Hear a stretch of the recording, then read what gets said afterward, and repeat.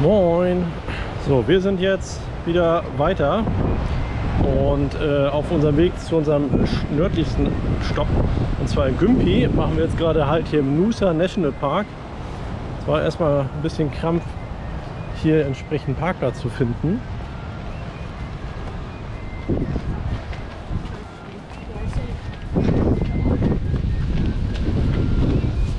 Aber auch das haben wir irgendwie äh, hinbekommen. Äh, haben in den Nebenstraßen äh, kurz gewartet, bis da einer fertig war vom Surfen. Äh, einpacken, 10 Minuten haben wir gewartet, dann hatten wir dort einen Parkplatz.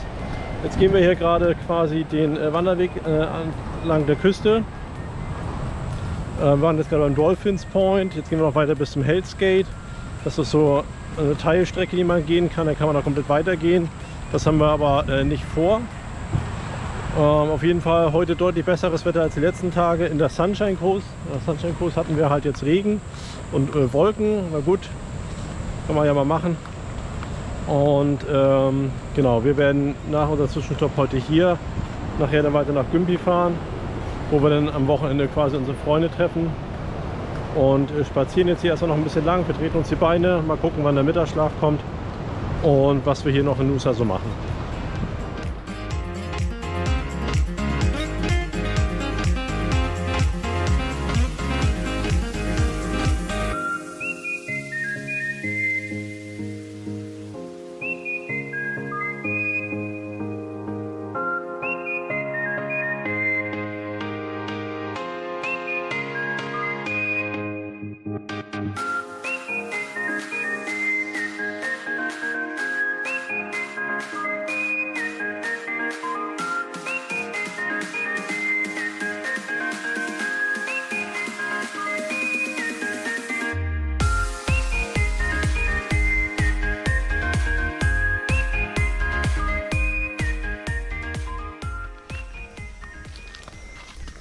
Moin.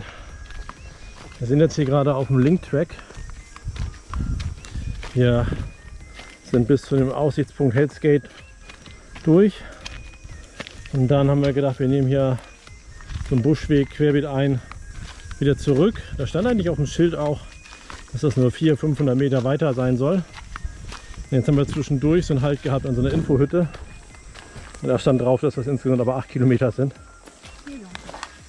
und zwei bis drei Stunden man für diesen einen Weg einplanen soll. Das haben wir irgendwie anders in Erinnerung, aber vielleicht haben wir das damals auch einfach so gemacht. Wir sind ja den Weg schon mal gegangen. Ich filme übrigens den Weg, damit ich die Kamera hier nicht auf den großen richten muss. Und gut, genau. Gleichzeitig gab es jetzt hier aber so einen Link-Track. Nur 1,4 Kilometer wieder Richtung Küste dann an der Küste wieder zurück der Linkweg ist tatsächlich auch sehr abenteuerlich. Wir freuen uns schon, wenn wir gleich wieder angekommen sind und ein Eis essen können oder was Erfrischendes trinken. Bis später.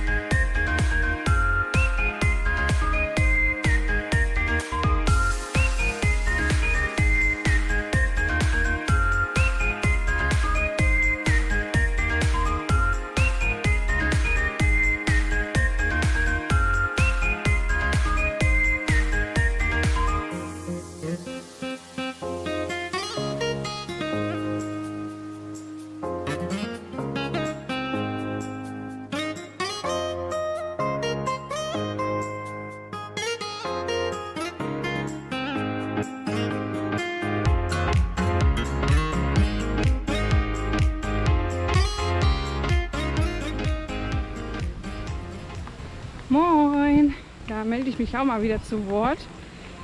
Ja, wir sind jetzt auf dem Weg zurück zu unserem Auto. Ähm, Tom hat euch ja schon ein bisschen erzählt von unserem abenteuerlichen Tag heute. Ja, äh, es war echt ganz schön anstrengend. Äh, Torben hat ja die Minimize, die Schultertrage ausprobiert heute das erste Mal. Äh, und war so mäßig gut. Vielleicht sagt er dazu noch mal was, aber ähm, genau, es hat ihm schon äh, war sehr unangenehm für ihn und äh, ja, die Belastung auf den Schultern ja, war doch irgendwie nicht so entlastend wie gewünscht. Ähm, dem Großen hat das aber wohl nichts ausgemacht. Also erst fand das auch erst ein bisschen komisch, aber ist dann auf dem Rückweg auch tatsächlich eingepennt. Äh, Tom musste dann ein bisschen gucken, dass er da nicht so runterkippt. Genau, die kleine Maus hatte ich auch die ganze Zeit in der Trage und äh, einen Rucksack noch auf mit so ein paar Sachen. Ähm, das war dann auch schon ganz schönes Gewicht. Und ja, war echt richtig anstrengend.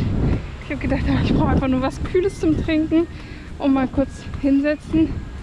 Genau, Tom hat ja dann eine Buggy geholt. Konnten uns kurz ein bisschen ausruhen. Waren dann nochmal bei dem Visitor Center auf Toilette und dann sind wir los. Äh, da hat der Torben sich nochmal eine Abkühlung gegönnt. Und ähm, dann sind wir ja weiter, während der Große noch geschlafen hat. Ähm, äh, durch die bekannte Hastings Street hier in Nusa. Ähm, da findet man alles von Boutiquen, Restaurants, Bars, Cafés.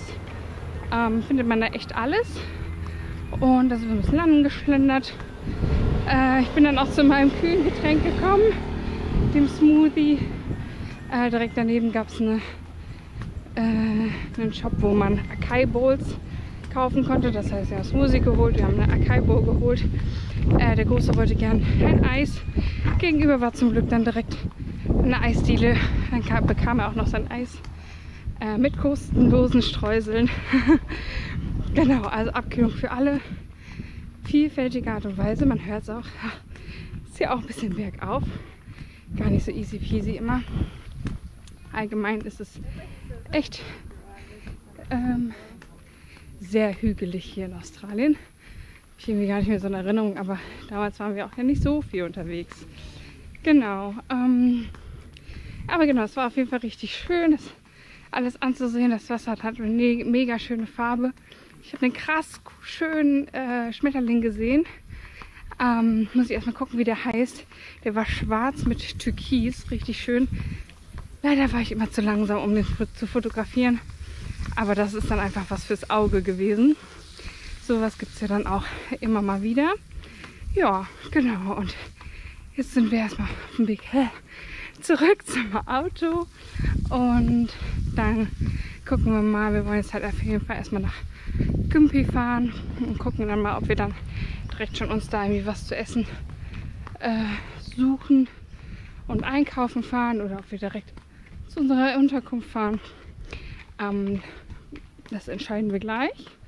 Ja, genau, aber es war, auch wenn es ein bisschen nicht so kam wie, wie gewünscht, wir waren einfach auch nicht super nicht vorbereitet auf den Tagesausflug heute. Ähm, muss man auch sagen, ist man auch ein bisschen selber schuld. Ähm, genau, was aber trotzdem irgendwie schön. Und ähm, ja, wir melden uns bestimmt später nochmal. Bis dann.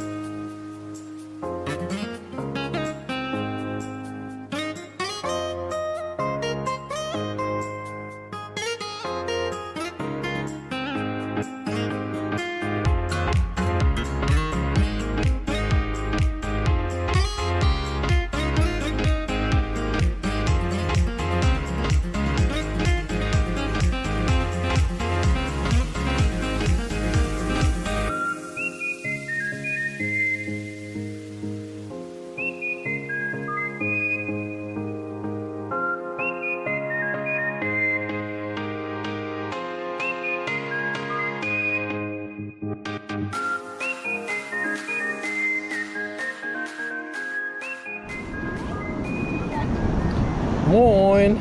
So, heute mal Strandtag. Wir sind gestern gut in Gümpi noch angekommen. Äh, haben uns äh, noch kurz gestärkt und äh, dann in der Unterkunft einmal umgeschaut. Also was heißt Unterkunft bei unseren Freunden. Äh, und äh, quasi eingerichtet. Wir haben da eine eigene kleine Hütte, wo wir unsere Sachen unterbekommen haben. Haben äh, wurden auch standardmäßig von den Kakerlaken oder Schaben begrüßt. da muss man sich natürlich auch erstmal wieder dran gewöhnen. Und genau, für heute haben wir eigentlich mal gedacht, wir nutzen jetzt das gute Wetter, nachdem wir ja an der Sunshine Coast hier nicht so gutes Wetter hatten. Oder zumindest keine Sonne. Äh, dass wir jetzt mal einen Strandtag machen. Das, äh, wir sind jetzt hier nach Rainbow Beach. Sieht noch nicht so Regenbogen aus, das zeigen wir euch später nochmal. Ist so ein bisschen versteckt. Und ähm, äh, das ist eine Stunde entfernt. Da sind wir jetzt eben hingefahren. Jetzt äh, können wir uns hier vielleicht ein bisschen äh, ausruhen, mal äh, im Wasser toben. Der Große war auch schon im Wasser, die Kleine auch, wie ich das hier so vernehme. Und äh, Wassertemperaturen sind auf jeden Fall sehr angenehm. Und äh, hier gibt es auch ordentlich schöne Wellen. Von daher mal gucken, äh, was es heute noch so zu berichten gibt. Und äh, ansonsten melden wir uns später nochmal von unserem weiteren Ausflug.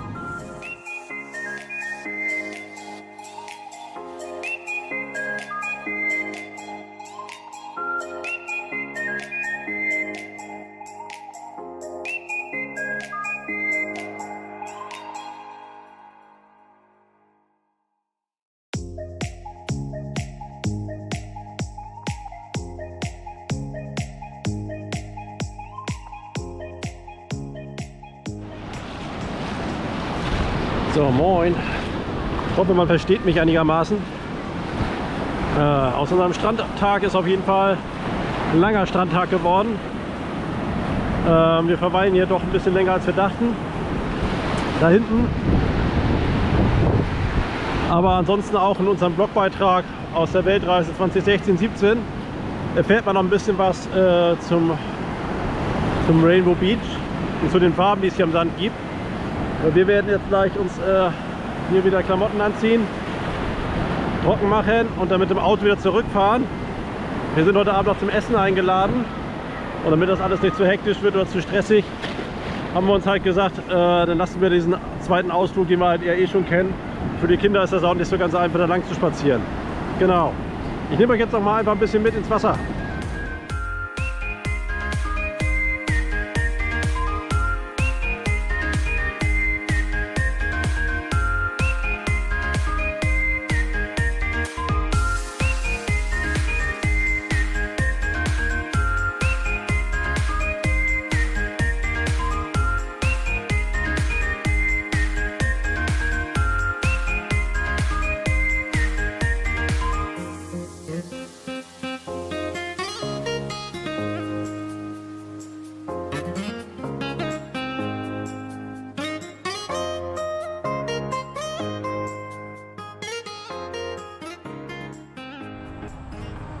Moin, hier mal wieder ein kleines Update von uns.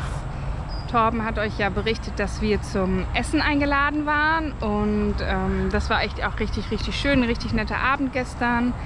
Ähm, es gab Taco-Salat und es war einfach eine richtig, richtig schöne Zeit mit denen, schön die wiederzusehen und ähm, ja, wir haben uns einfach richtig, richtig gefreut und es war einfach richtig, richtig nett und eine ganz tolle Gemeinschaft. Genau, wir sind dann so gegen, glaube ich, es war schon halb neun, ähm, dann wieder zurück ähm, zu unseren Freunden nach Hause gefahren. Ähm, war ja dann auch allerhöchste Zeit dann fürs Bett. Ähm, der Große war noch voller Energie und der hat es total genossen, auch bei denen. Der hat da ganz, ganz süß mit ähm, der kleinsten Tochter oh. gespielt. Genau, aber die kleine Maus, die war dann schon auch echt fertig. Die kam da vor Ort irgendwie nicht ganz zur Ruhe. Ähm, aber ist dann direkt im Auto eingepennt. Genau, ähm, ja. Und dann, glaube ich, so irgendwas kurz nach neun hat der Große dann auch die Segel gestrichen und wir waren irgendwie auch total platt und haben uns einfach dann bei der Einschlafbegleitung direkt auch mit dazu gelegt und sind dann auch liegen geblieben und haben nichts mehr groß gemacht. Keine Stories, kein gar nichts. Ähm, ist auch mal in Ordnung. Genau, in der Nacht hat es schon super viel geregnet. Das hört man ja auf unserem Metalldach immer. Zum Glück nicht ganz so extrem laut, aber man hört es schon. Ähm, genau, sind dann ganz gemütlich heute Morgen aufgestanden und gefrühstückt. Dann sind wir einmal los und haben noch ein paar Lebensmittel eingekauft äh, in dem Einkaufszentrum, was wir auch schon von damals kannten. Mal ein bisschen was eingekauft. Da gab es dann auch einen kleinen Spielplatz indoor, weil draußen war ja noch alles nass. Ähm, da konnte der Große sich dann noch ein bisschen austoben. Wir hatten zum Glück nichts äh, Drastisches irgendwie eingekauft, was schnell in die Kühlung musste. Ähm, genau, der hat dann da ein bisschen gespielt, das war ganz cool. Und dann sind wir wieder zurück zur Unterkunft. Da hat er da auch noch ein bisschen gespielt und dann war Mittagsschlafzeit. Und da haben wir tatsächlich uns auch alle nochmal hingelegt. Irgendwie brauchten wir wohl ein bisschen Schlaf. Ähm, genau, und jetzt sind wir heute Nachmittag mal hier in die Innenstadt und ähm, waren bei Mama D's Kitchen. Das kennen wir auch von damals. Wir waren da bei der Eröffnung dabei. Das war total cool, ähm, jetzt wieder da zu sein, zu sehen, wie das sich jetzt vielleicht ändert hat. Ähm, es gab nämlich auch einen Inhaberwechsel. Genau, bei denen, die wir ja gestern eingeladen waren zum Essen, die haben das eröffnet und haben das aber letztes, Ende letzten Jahres dann verkauft. Oder im August, im August letzten Jahres haben wir es verkauft.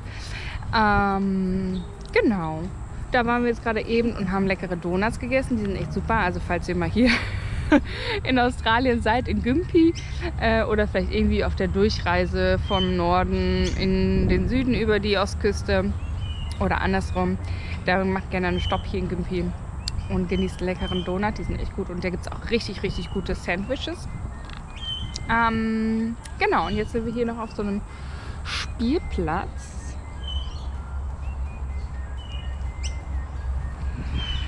Ähm, damit der Große sich auch noch ein bisschen bewegen kann. Es ist, ähm, hat heute Nachmittag, als wir uns nochmal hingelegt haben, hat es auch nochmal geregnet. Ähm, aber jetzt ist wieder super Wetter und auch relativ warm. Wir haben auch extra nochmal die Wäsche draußen aufgehangen. Ähm, genau, und es ist auch alles wieder trocken hier. Total witzig irgendwie, obwohl es eigentlich echt viel geregnet hat. Genau, und der kann sich jetzt hier ein bisschen austoben und wir genießen einfach den Nachmittag. Morgen kommen dann ja unsere Freunde nach Hause. Freuen wir uns auch total, die wiederzusehen. Genau, und gucken mal, was wir jetzt den restlichen Tag noch machen. Ähm, und was wir auch morgen Vormittag dann machen. Und ja, genau, soweit erstmal ein kurzes Update von uns. Und wir melden uns dann wieder. Bis dann.